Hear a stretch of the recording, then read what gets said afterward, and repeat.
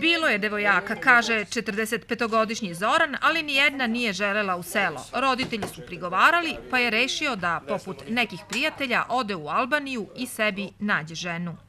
Godinu dana sam se ja mučio, sam sa sobom.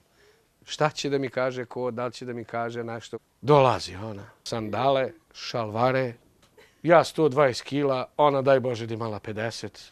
Bio lep i lep je i dan danas, lepo se slažemo, ali šta znam, ovako mi se sviđa kao momak, ali sam čula kad dosta devojaka dolaze iz Albanije pa se udaju u Srbiju, e kad dobro živi i makar sam čula kad ste baš super fino ljudi.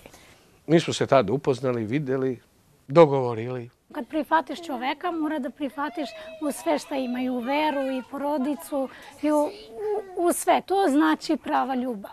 Zoranovim stopama krenuo je i mlađi brat Dragutin, tako da su Jovanovići 2013. imali duplo venčanje i dobili dve snaje Albanke.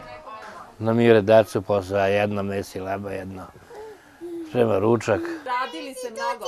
Pa kako, ma jo, kako da radim mnogo, malo, nešto to, tako pomalo. Evo i dečica. Najviše sa decama. Dečica puno avlija, evo sad. Hvala Bogu, super. Ovo je najveće bogatstvo. U susednoj Garevini dvojpogodišnja Nina trčkara po dvorištu. Uskoro će dobiti brata ili sestru. Drugarica mlađa od mene se udala tu i sam rekla kako ona može da živi, mogu je. Prvi put smo otišli u Albaniju i upoznao se sa Floru. Vidjeli smo se jedan drugom i treći put smo se uzeli.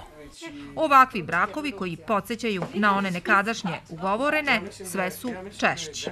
Najčešće dođe neko iz njene porodice, otac, majka, brat, ujak i vide uslove življenja kući.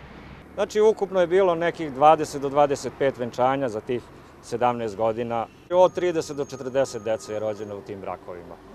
Razvoda nije bilo. Mlade iz Albanije pokazale su se kao dobre domaćice majke, vredne žene koje su stekle poštovanje meštana i zahvaljujući kojima se mnoga ognjišta u ruralnim sredinama nisu ugasila.